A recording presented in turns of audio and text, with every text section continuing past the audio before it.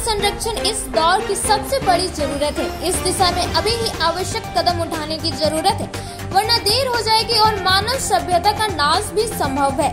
ये बातें अंतर्राष्ट्रीय पर्यावरण दिवस के मौके पर आयोजित पर्यावरण जागरूकता कार्यक्रम में बतौर मुख्य अतिथि शिरकत कर रहे गिरिडीह के वन प्रमंडल पदाधिकारी प्रवेश अग्रवाल ने कही करहटबाड़ी के सरकारी स्कूल में वन पर्यावरण एवं जलवायु परिवर्तन विभाग के बैनर तले जिला पर्यावरण समिति द्वारा आयोजित इस कार्यक्रम में विशिष्ट अतिथि के रूप में जिला पर्यावरण समिति के सदस्य सह लोजपा के अंतर्राष्ट्रीय महासचिव राजकुमार राज शामिल हुए, जबकि कार्यक्रम की अध्यक्षता वन प्रक्षेत्र पदाधिकारी रवि कुमार शामिल हुए इस मौके पर सबसे पहले स्कूल परिसर में ही पौधा रोपण किया गया और उसकी सुरक्षा के लिए कैबियन लगाकर वन सुरक्षा समिति के सदस्य और स्थानीय ग्रामीणों को सुरक्षा की ज़िम्मेदारी सौंपी गई। इस मौके पर राजकुमार राज ने कहा कि पर्यावरण की सुरक्षा को लेकर आवश्यक गंभीर कदम उठाने की आवश्यकता है।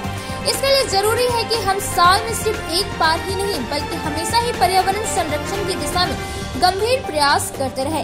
जब भी मौका मिले, खुद छायादार, फलदार पेड़ लगाए और दूसरों को भी इसके लिए प्रोत्साहित करें। कार्यक्रम को वन प्रक्षेत्र पदाधिकारी रवि कुमार सहित अन्य वक्ताओं ने भी संबोधित किया।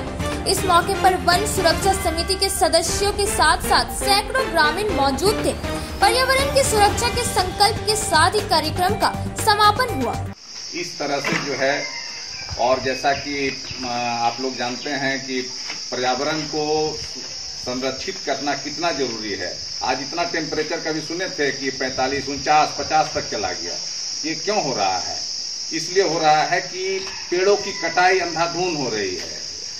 पेड़ लग नहीं रहे हैं, जो वन विभाग लगाता है, उसके अलावा पेड़ जो है आम लोगों में जागरूकता नहीं है पेड़ के प्रति। तो इसी उद्देश्य से आज जो है वन प्रमंडल पदाधिकारी और वन प्रक्षेत्र पदाधिकारी आप लोगों